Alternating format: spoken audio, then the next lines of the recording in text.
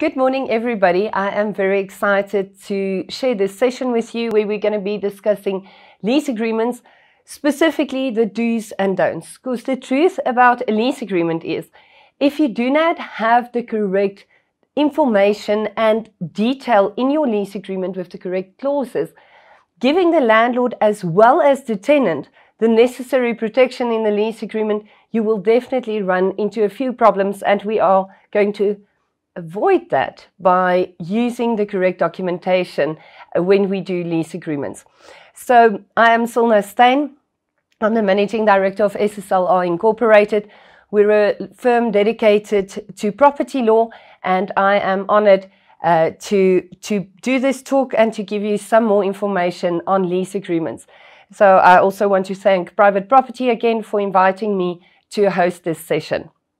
So let's get straight into it. Usually when it comes to a lease agreement, the question is, what is important? Can I use my own lease agreement? Can I buy a lease agreement from CNA? Can I download a lease agreement from the internet? What is safe and what is going to give me the necessary protection when it comes to lease agreements? So first off, we need to appreciate that the South African legal system is a separate system from any other legal system in the world because every country has its own legal system. So one of the biggest things that I find um, to be a very big problem when it comes to lease agreements is if you hop onto the internet and you Google lease agreements, you're definitely going to be able to download a bunch of lease agreements, but it could very well be lease agreements drafted by an attorney in a completely different country. So say for instance, you end up with a lease agreement based on the English legal system. The content of that lease agreement will be completely irrelevant to what you are doing and it will not just be not helpful, it will actually be prejudicial to what you are doing. And this is something very important to keep in mind. When we deal with lease agreements, the most important thing is to appreciate that this is not a document that can quickly be drafted on the back of a cigarette box. Uh, at least we're now in level one, so I can make cigarette box jokes again. But um, it's very important to appreciate the fact that this is a very specific legal document. And if you, as the landlord, want to use a lease agreement, you need to appreciate that this is the document that gives your right of occupation away to a third party. You need to protect yourself and your investment in every potential aspect of a rental to the point where you don't have to go back at a later stage to amend something or change something. It's really important to be aware of this. So first off, must a lease agreement be in writing or can it be a verbal agreement? At this stage, in terms of the Rental Housing Act, a residential lease agreement may be verbal or if the tenant requests that it must be in writing, it has to be in writing. Commercial agreements are not regulated by the Rental Housing Act. Um, so even if the tenant requests it to be in writing, there's no legislation allowing the tenant, forcing the tenant, um, uh, forcing the landlord to have the lease agreement in writing. So having said this, it's important to be aware of the fact that the Rental Housing Amendment Act, which has not been promulgated yet, and I cannot see um, that it will be promulgated in its current form, however, anything is possible. Um, but the Rental Housing Amendment Act, which was published already in November 2015, still not promulgated to this day. Yes, it's been a good five years. Um, so that piece of legislation does require lease agreements to be in writing. But why do we currently do lease agreements if, in writing if it can be verbal agreements? Well, that makes a lot of sense to do it in writing because I don't know about you, but I can barely remember what I had for breakfast.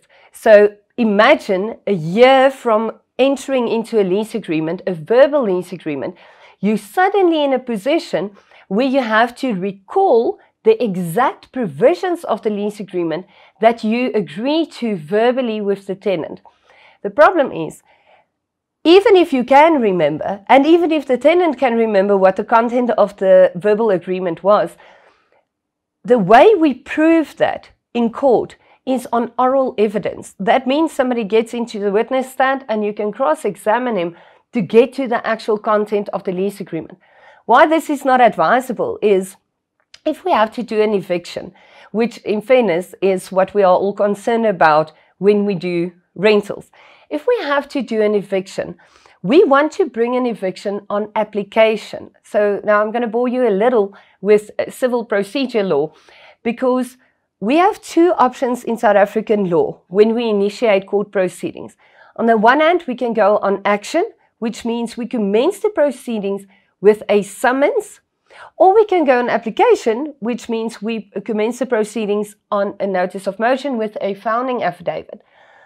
If you have a factual dispute or if you are in a, in a situation where you have to prove the terms of the lease agreement verbally, the only option is to bring it on oral evidence, and that will mean that we have to go on trial. So, why is this a problem? On motion, on application, we can be in court with an eviction in anything between uh, two to three months, or sometimes shorter, but currently, uh, with the lockdown regulations, we are still a little limited and the rolls, court rolls are still very congested. So if that is the situation, but we have to go on trial, we're only going to be in court in about a year or two from now. So if you have your lease agreement in writing and complete, where all the parties know exactly what they've agreed to, we can go on application and your eviction process will be much, much quicker. This is why we have it in writing. Also, if there's a dispute when it comes to a, a, any, any contract, any agreement, there's a rule of interpretation that says the contract must be interpreted against the party responsible for the drafting. So even if it's in writing, but you do not have the necessary provisions with regards to interpretation of that particular contract, you can run into very, very severe problems. For instance, a landlord that does something a little creative or funny, uh, whatever you want to want to call it, it could very well have the effect that that contract is interpreted against the landlord and in favor of the tenant. And why I'm saying this is remember, the landlord in a lease agreement will always be the party uh, representing the terms of the um, agreement to the tenant, and the tenant can then accept those terms or uh, reject those terms, and that is when the agreement comes into being. So it's very important. So I used a lot of time to explain why we need to have our lease agreements in writing, and this is something crucial. Please keep that in mind and don't try and do a verbal agreement because it does become very difficult to prove the terms of that contract.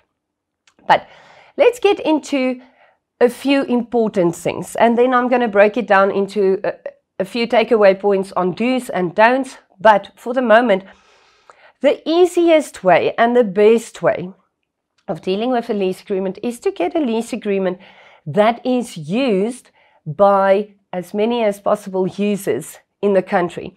I am honored and privileged to be the drafting attorney of the TPN Leaseback residential lease. Um, I've been responsible for the drafting uh, for the past uh, six years, and I'm very excited to see how many users we currently have. At this stage, the majority of uh, South African lease agreements, written lease agreements, are actually used, um, uh, uh does use the, the either the unamended form of the leaseback or at least a, a similar or older version of this lease agreement. Why this is relevant is one of the bigger problems with rentals is that neither landlord nor tenant understands the actual intricate terms of lease agreements. So what happens is if we have a standardized document, suddenly people get comfortable. Imagine for a moment you are a tenant and you're renting the property through an agency and they're using a document that is based on the TPN leaseback. But then for the next term, you're renting a property directly from a landlord.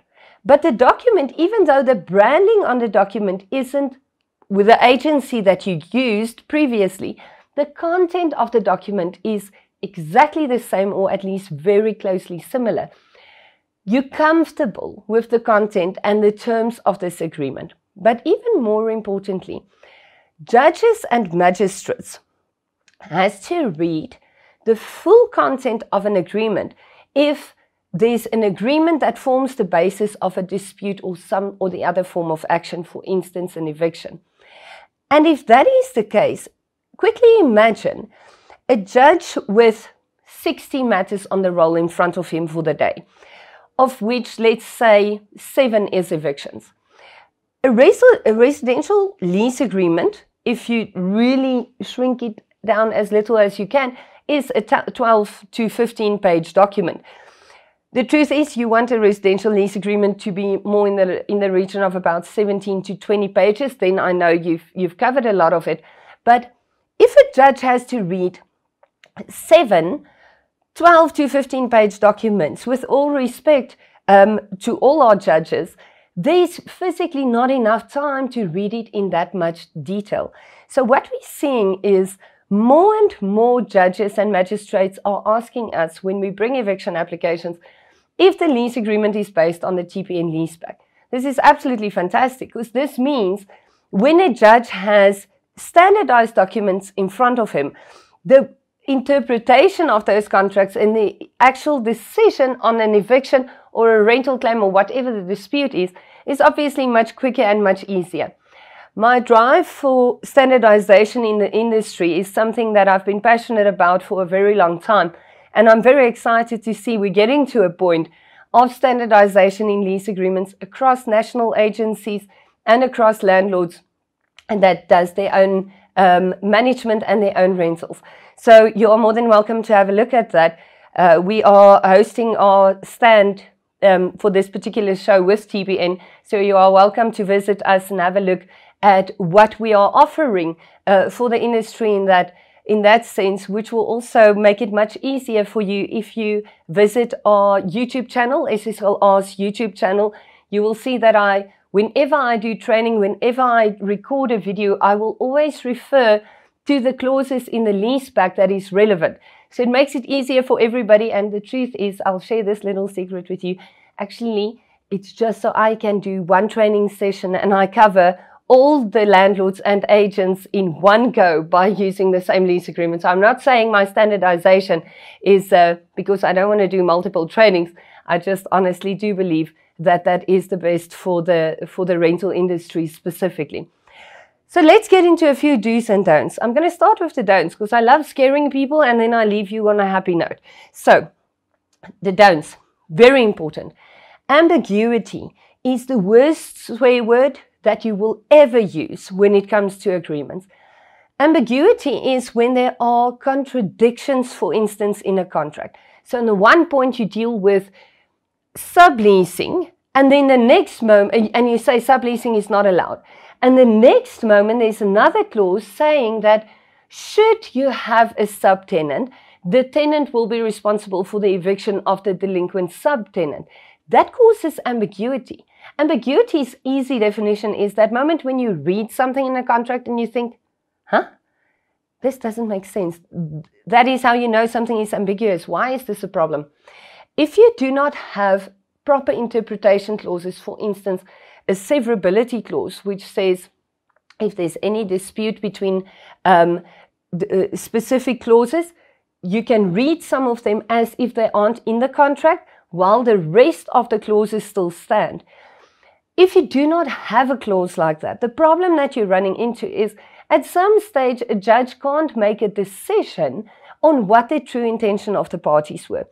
Why I'm saying this is the moment you start amending a document, for instance, the leaseback, you will run into a situation where you might not understand why there was a specific clause written into the agreement and it could very well make the entire agreement illegal or at least unenforceable in certain aspects. So it's very important to keep this in mind. Something else that's very important is not to include illegal provisions. So what am I talking about? I have seen lease agreements that made me so, so sad that does things, for instance, say, um, the provisions of the Prevention of Illegal Evictions Act will not apply to this tenant. Now that's illegal. We do not have the right to contract out of legislation. It's very important to, to keep this in mind. To do something like, say, the CPA won't apply to this contract, where it does, suddenly it leaves both parties in a situation where they have no idea what's going on. Does it apply? Does it not apply? We can't contract out of legislation. It's very important. No illegal provisions. It places the entire enforceability of the contract at risk. Then, at the same time, it's very risky to draft specific provisions of legislation into a contract. Why am I saying this? Say, for instance, you quote provisions of Section 14 of the Consumer Protection Act into your lease agreement, and that act, act gets amended. It will mean that there's provisions written into your contract that might be burdensome on the landlord or the tenant that was a legal requirement at some stage, but now it got amended and your contract won't amend with that.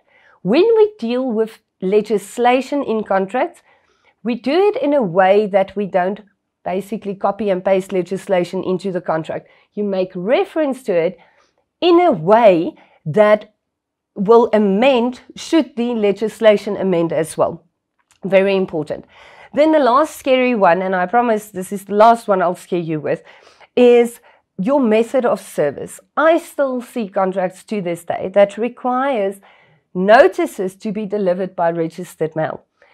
There's no requirement in our law to have any notice delivered by registered mail um, when it comes to, to lease agreements. So, for instance, we don't have to send a letter of demand before we cancel a tenant to evict him, we don't have to send that by registered mail unless you specifically ask for that in the lease agreement. If the lease agreement says notice must be given by registered mail, then it must. So why do we burden ourselves with stuff like this? You are more than welcome to insert a provision that says any notices can be delivered by email and then deemed to be received on the day of dispatch. And never do funny things on that, like um, write something in to say, on receipt of a read receipt, it will be deemed delivered. Because that power is in the receiver's hands. So why would you do something like that? Keep it simple and make sure that your notices can be delivered in a simple, effective manner. Let's get to the do's, and I'll be relatively quick on this one. The Consumer Protection Act is a very important piece of legislation. You are welcome to visit um, our stand, the SSLR and TPN stand.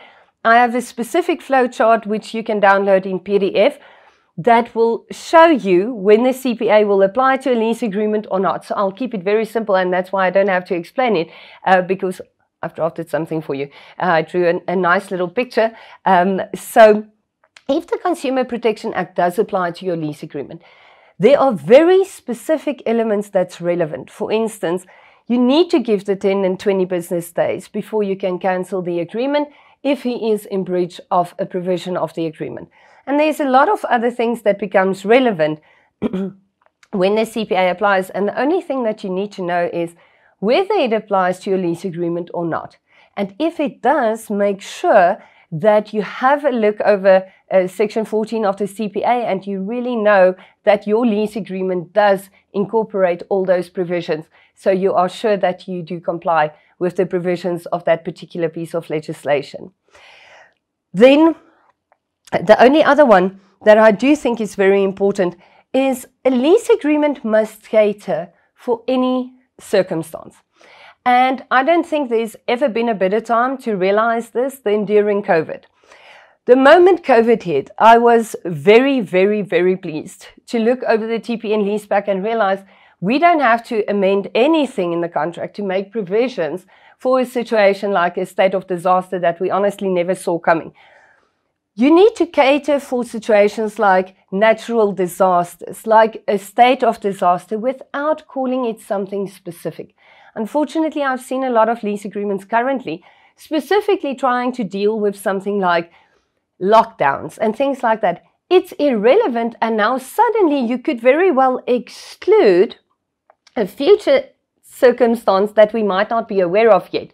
I'm not jinxing it. I'm just saying a lease agreement must be something that is very standard and that can apply in absolutely any circumstance.